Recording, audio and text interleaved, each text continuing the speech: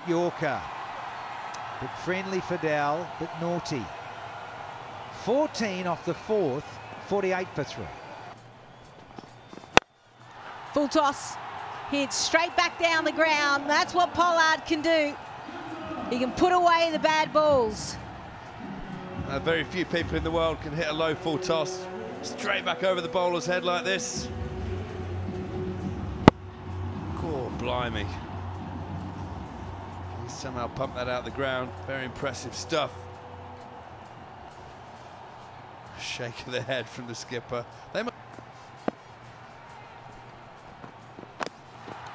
and this time, a little bit too straight. Back-to-back -back boundaries, exactly what the Gladiators needed. Well, it's a steep learning curve. Abel's played out of first-class cricket, played in England, played against Pollard very often. Best one-day players in the game, short format especially.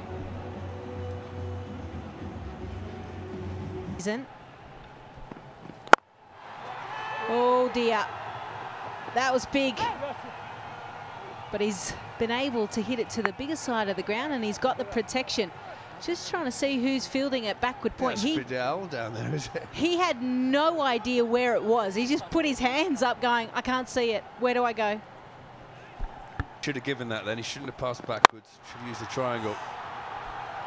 Here we go again. Pollard, he doesn't care about triangles on a football pitch. Just pumping the ball out of the ground.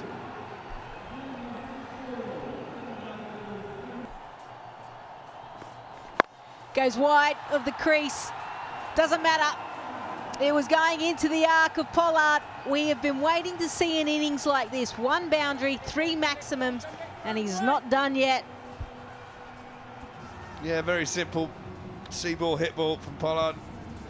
See him walking over to the offside, aiming for that short boundary with the wind. There's no fielder down there. Very sensible batting.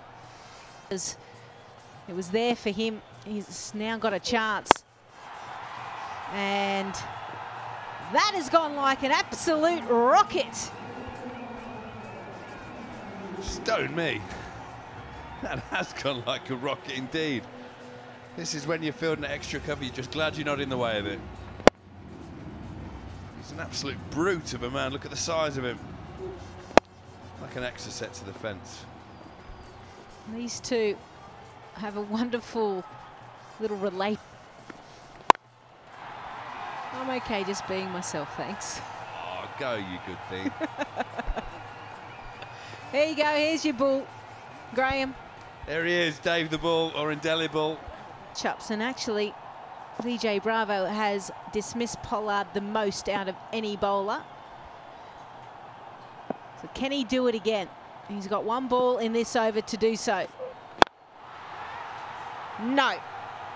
Just a few more boundaries as everyone just moves away. Huge over. 17 off it, 92 for 4 last ball, very full from Bravo. And Pollard, he just hits the ball so hard it has to go straight to the fielder or they haven't got a chance. I just like the byplay. Front.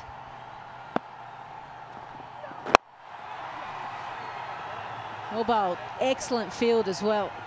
What do you make of the field for Pollard? The Deccan Gladiators, but Pollard's on strike. Yeah, and nearly takes out DJ Bravo. Well, a smile on the face of Bravo.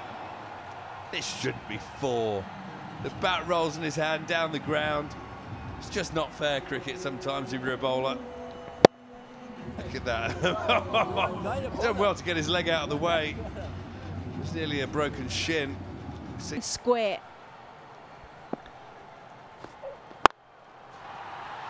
Well, doesn't matter. Doesn't matter how many fielders you want. He's going to clear it regularly. Bravo can't believe it. Well, it would have been the gutsiest double bluff ever if he'd gone for the leg stump Yorker then. Everyone on the offside goes wide of the stump. Look at that, the reach is one-handed. He's barely got any bat on that, but the man's a behemoth. He's planted a six over the boards. Yeah, you might as well laugh. You can't do anything else. Oh, misfield as well. They, will they come back for two? No. Pollard, he wants to strike. 17 runs off that over, 147 off 17. A chance, a chance and taken. Could that be a Dream 11 game changer of the match? Absolutely could be. Andy Flower's got a smile on his face. It's not easy to get one of those. Very well bowled. Hey, the ball's dancing. Go on, you good thing. It's full. It looked like it was right in the slot for Pollard. Just slid across the face of the ball. Safely taken. Happy down there.